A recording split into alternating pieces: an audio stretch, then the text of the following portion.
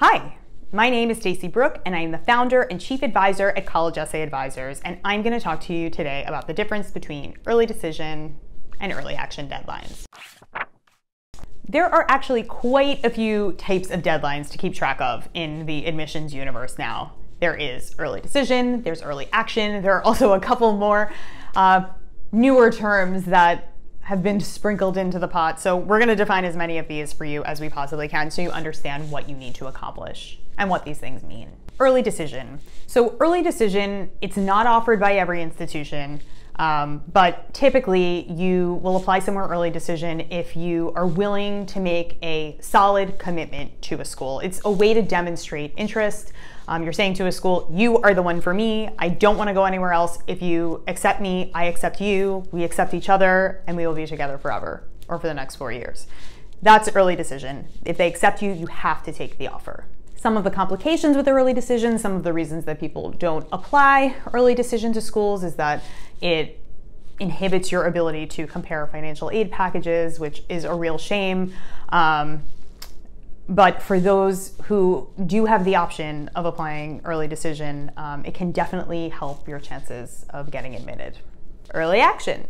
So, early action is similar to early decision in that it's a way for you to demonstrate interest to a college. You're saying, you are my top school or one of my top schools.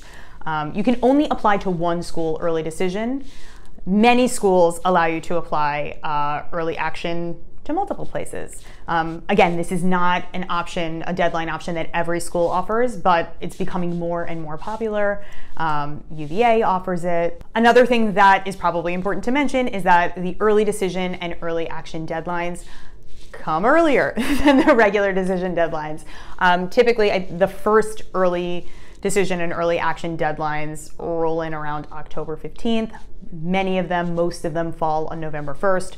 So for those of you who are planning to apply early to any schools, some things you're going to want to have taken care of by October, mid-October at the latest, um, are your personal statement and then the supplemental essays for any of the schools to which you plan on submitting these early apps.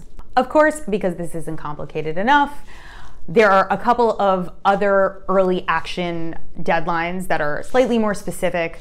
They're called either single choice early action or restrictive early action. And in these cases, um, for schools that offer this to you, you are going to demonstrate interest by applying early action somewhere, but you do have, if you're accepted um, with restricted or single choice early, early action, you don't have to make the commitment until you see how things shake out with your regular decision school so you can compare financial aid um, offers or anything else that you might be weighing. So um, not a ton of schools offer that, but it is another option that's floating around. Rolling admission. Um, there are schools that allow you to apply on a rolling basis, which means that when you send in your application, it will be reviewed. This is kind of a beautiful thing because if you send something in in September, you might know in October whether or not you got in.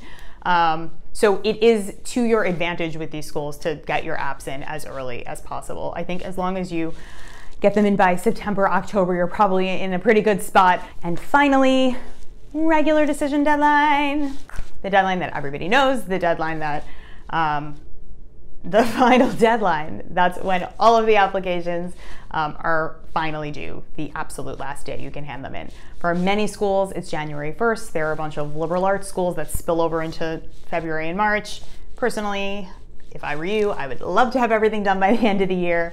Um, so for all of your regular decision schools, I think you should probably be shooting to wrap those up by the fall, even if you're applying to schools early decision and early action. Maybe even especially if you're applying to schools, early decision and early action, I would try to get all of those regular decision essays and components out of the way before you get your decision and, uh, and just be prepared for whatever happens. Have some options for yourself.